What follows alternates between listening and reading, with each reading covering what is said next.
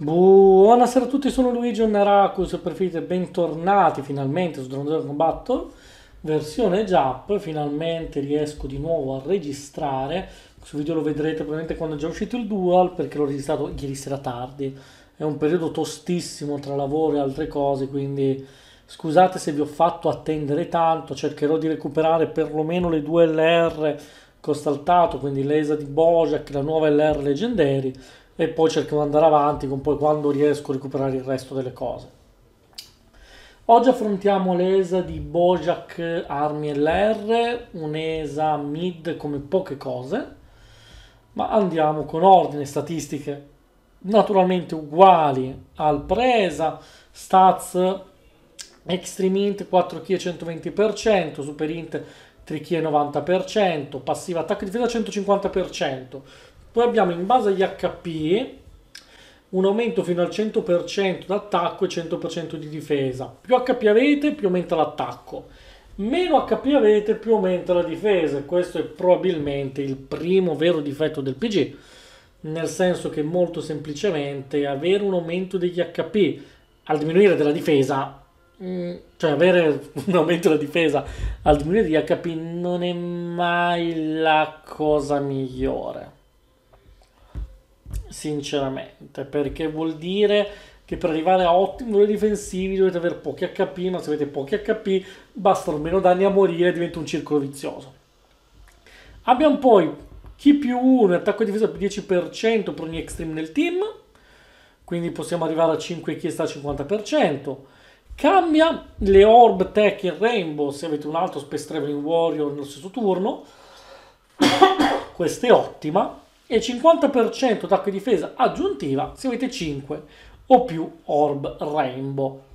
Ragazzi, aumentiamo un aumento della difesa normale al lancio della special e otteniamo un PG che... Oddio. Sì, è migliorato, ma no, non è migliorato abbastanza.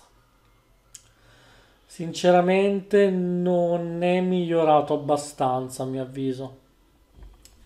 Prendiamo che lui deve giocare obbligatoriamente quasi con Bojack, l'STR, quindi con la forma normale o Evo, linka comunque mediamente bene. Come altri partner può avere carino Garlic, però scendiamo già a 3 link, idem, Cooler STR o magari anche Tarles LR quelle STR naturalmente intendo l'LR o Metal Cool LR fisico però perdiamo già molti oddio molti perdiamo due link però perdiamo alcuni dei link principali che a dare anche un bel aumento di stats.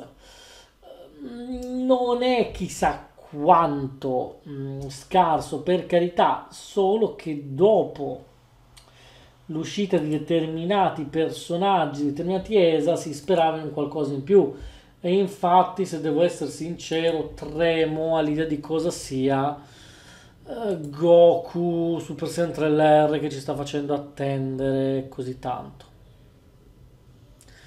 Capite? Brutta, cioè tosta, tosta, tosta, tosta. Potrebbe essere eh, molto peggio di quanto immaginiamo.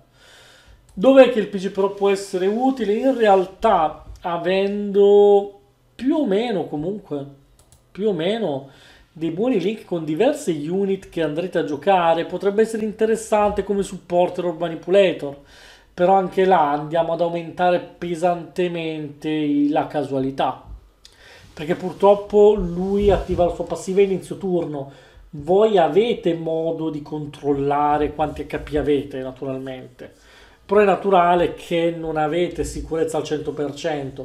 Se vi lancia la special sul PG sbagliato, avrete molti pochi HP che poi si aumenterà la sua difesa e potete usare un oggetto. Ma in determinate fight, come ben sapete, l'oggetto usato in turno sbagliato è un problema anche abbastanza grande.